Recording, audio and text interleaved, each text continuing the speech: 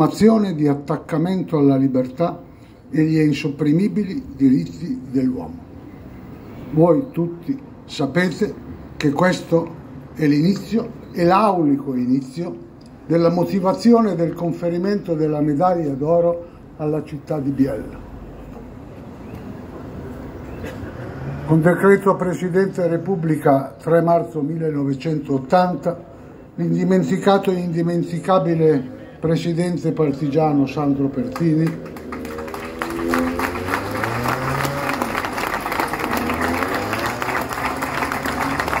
onorava la nostra terra decorandola di medaglia d'oro al valor militare, al valor militare, è incontestabile, ma per meriti di resistenza, ma per meriti di resistenza è altrettanto incontestabile. Fu proprio Sandro Pertini che appose quel preziosissimo simbolo sul gonfalone della città il 4 ottobre del 1981. In queste parole che io definite auliche si racchiude il senso e la ragione di questa commemorazione. Andiamo con la memoria e riportiamoci alla realtà di questa terra tra fine maggio e inizio di giugno del 1944.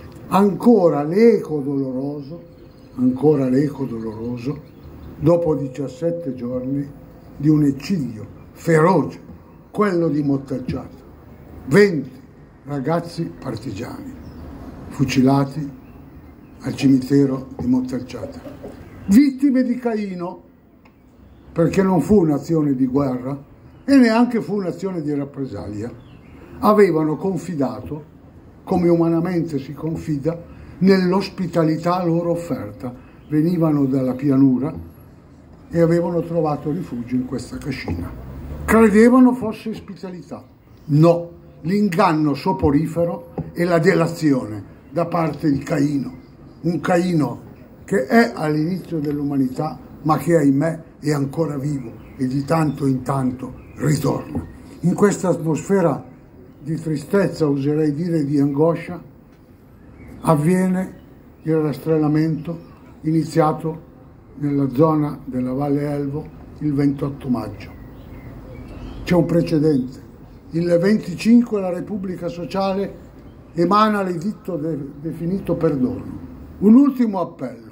Chi non l'ha fatto finora e ha rischiato la morte può ancora evitare la morte arruolandosi nella Repubblica Sociale.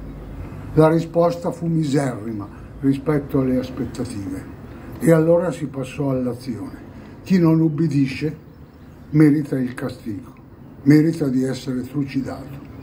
400 partigiani circa, un numero consistente, dei raggruppamenti Caralli e Bixio che si trovano nella zona dell'Alta Valle Elvo vengono accerchiati dalla base verso il vertice. Ci sono scontri a fuoco, quattro partigiani cadono, inevitabilmente anche se qualcuno riesce a passare tra le maglie del nemico la maggior parte o comunque un numero consistente, pari a 13, viene catturato.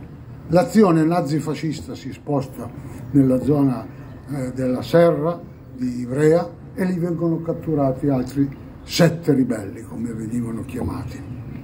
Vengono richiusi nelle carceri del piazzo e deciso e comunicato loro che saranno fucilati.